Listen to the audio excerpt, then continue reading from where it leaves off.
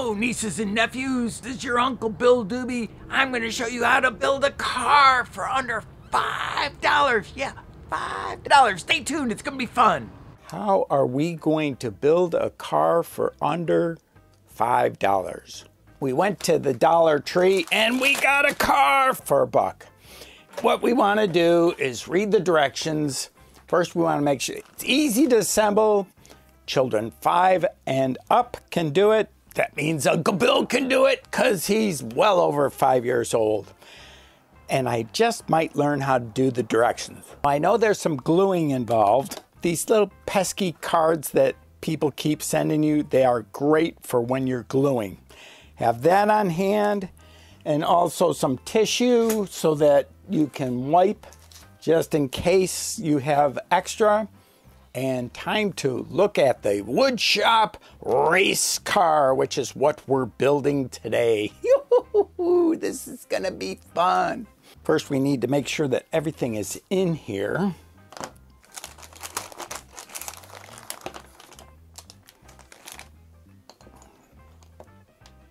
Ooh, look at that. Here I thought that I'd have to go buy glue. It looks like they gave me glue. I could have done it for a dollar. Here's four wheels. This must be the carriage to the car right here. This looks like part of the body and the other part. Wow, this is big. Okay, so this extends out like that. And this one goes around like this. Whoops. Like this. So we get them all nice and lined up. Get these guys going too. These are the two side parts to the car. This is, looks like a tail fin. Yep, that's what it is, tail fin. These two will hold up the spoiler in the back and see the precision that they make all this stuff with. And this is our spoiler holder. Two axles and four wheels. Glue the front and rear hood onto the chassis as shown.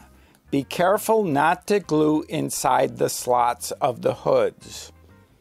In other words, what they're talking about is these slots right here. Now, Uncle Bill has a trick on how to do that, is that you go like this, and it looks like this one runs off the back. This one goes flush to the back, I think. They don't show exactly, but it does look flush. Now the other one is kind of your own call as far as how far to go back. I'm going to go about this far back, like that and that. And obviously I'm going to have that turned the other way.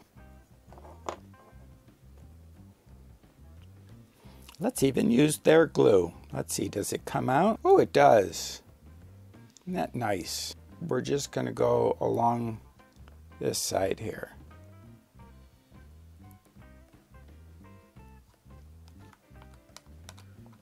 You can see, you can hardly even see the glue now. Doesn't take much.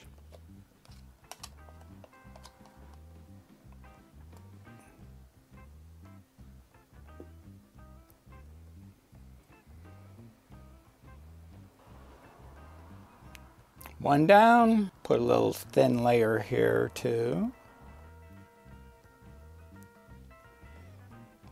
There is such a thing as too much or too little glue with wood gluing. What you want is a thin glue line. Here we go. Now, a little weight won't hurt. First we check to make sure that everything is all lined up. Now I notice that our hood is a little bit skewed off to the side. Use our spoiler for the distance in here. They don't say that in the directions, but it seems to be working. After about a minute, this stuff will start to set up better. Put our book on top and a little bit more weight. We will come back in about 20 minutes and do our wheels. Let's see what our results are here. We're gonna take the tape off and the book and here is our race car. Now I was thinking about when gluing on the axles, which need to be up a little bit, is I don't want to be putting much force on here. So I added, let's see, six times six is what, 36, I think. Here's some pennies to raise our car up off the ground. Now we have the race car up. It's time to put the wheels on and the axles in. Here's one axle, two axles, and glue the wheel on to each end. I noticed there was a lot of extra space in these wheels, so we're gonna be generous with the glue a little bit. There's one. Let's do the other side. Double your pleasure, double your fun. It's gonna be a race car fun. All right, there's one set of wheels on. It's almost like threading a needle for an old guy like me. You're only as old as you think you are. Can we win a race with this car? We'll see. I'm glad that I did the thing with the pennies. That'll make it so that the wheels, when they are on there, go without putting any force up on the hood or anything like that. We did the wheels. Now we glue all the rest on. It says glue the sideboards each Okay, we're going to take the whole thing, lift it up, put a rubber band on it, and then it'll be done after we glue it. So um, you can uh, almost feel our race car already. It's ready for racing. A Little bit of glue here, a little bit of glue here, here, and here. The wider part is at the back. So back, right like that. There's one piece, two pieces. Now we hold it firm with our hands for a little bit. Make sure it's squared off as best as possible. Oh, look at that. I didn't even notice that. Greenbrier it. It's a good thing I put it that way. Now we can call them up. Time for the rubber bands. One lap around. Rubber bands are always nice to have around for just these type of occasions.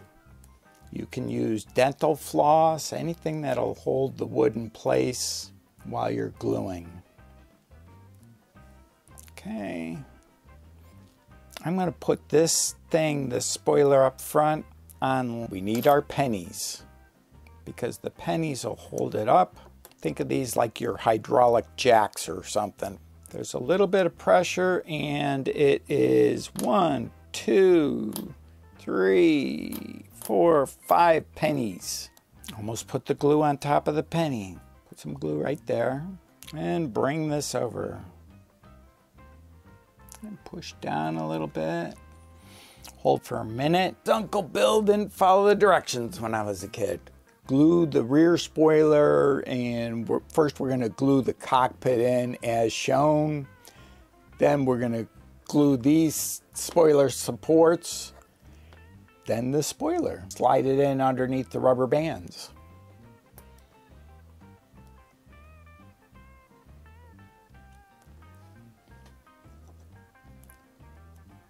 Should have thought more about that spoiler up front when I did this. And let's get that cockpit right. How does that look to you? Let's take a look on that downward. Okay, I need to go more over this way. And this is how you build a car for under $5. Not only that, this is a racing car because we're going to race it around the track. Fun times, fun times. We don't have to wait for that cockpit. Supports for the spoiler are all the way out to the back end. We'll just take each one of these spoiler struts, I think they're called. Little bead of glue there.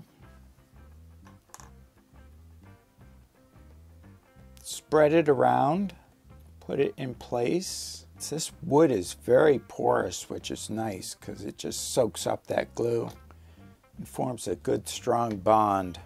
All sorts of fun things you can get at the Dollar Tree. Another bead of glue. Can't you just feel yourself putting on that race car helmet and racing and two more things of glue?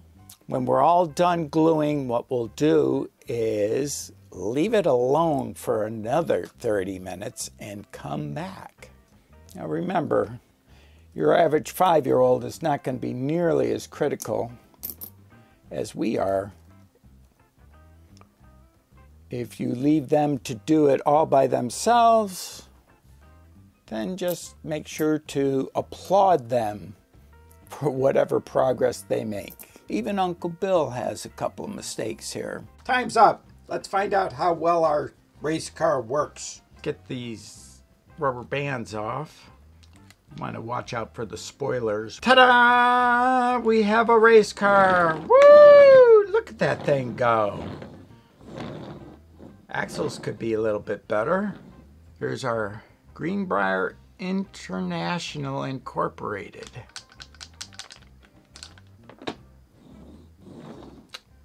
All right. Show it over here. Well, there you have it, nieces and nephews. A car for under $5. I kept my promise. Not only that, it's under $2 because you have to include tax. I didn't get it tax free. This kit was only a dollar. We could paint this car, we could put eyes on it. We could, if you're doing it for a girl, you could color it pink. You could have it whatever way you want. The key is to enjoy it. Mistakes can be made. Also, this glue, you got enough glue here for five cars. Yeah, five cars. I hardly used any glue. Make every day this side of the dirt great. Go out there, have some fun, stay COVID safe. I love you all. Bye bye.